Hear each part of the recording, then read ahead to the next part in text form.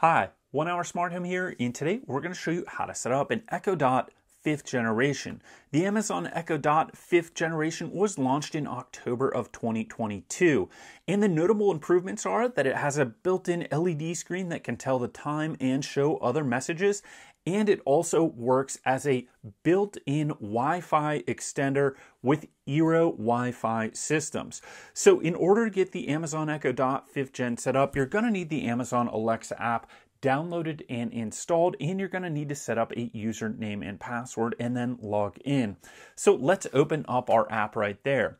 Now all we're going to do is plug in the device. So you can just plug in the device with the power adapter that is provided right there in the back and it will power up.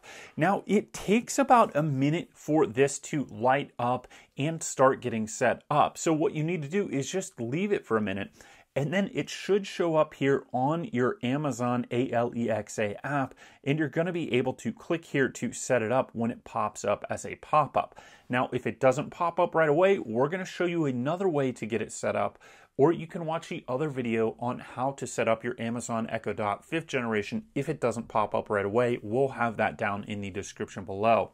So you can see it powered up and we've got the blue light and we're just waiting for it to start speaking to us saying that it is in setup mode.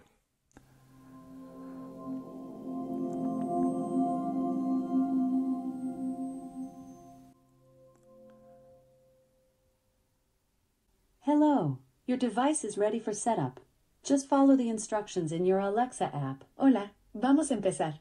Instala la app de Alexa y sigue las instrucciones. Bonjour, votre appareil est prêt pour la configuration. Téléchargez l'application Alexa et suivez les instructions. So you can see that LED screen activated.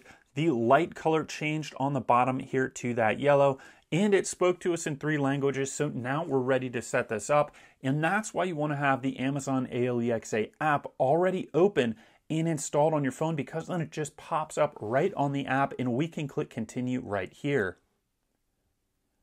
Now it says searching for Wi Fi.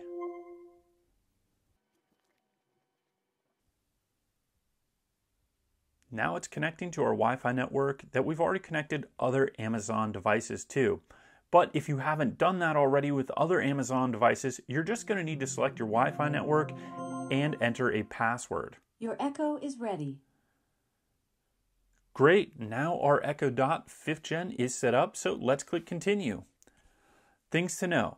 Four buttons, action, volume up, volume down, and mic off. So that's our action button. This is the plus button for volume up, volume down, and that's the mute button.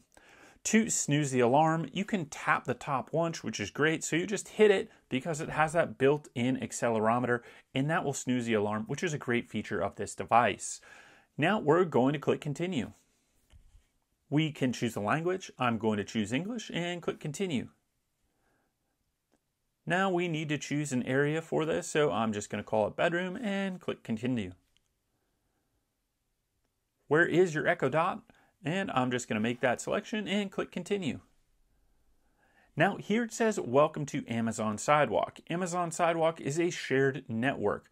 Now I typically don't enable this, but if you want your other devices to work with other Amazon devices or Ring devices, it can help increase the network connectivity, but I'm just going to click disable for now.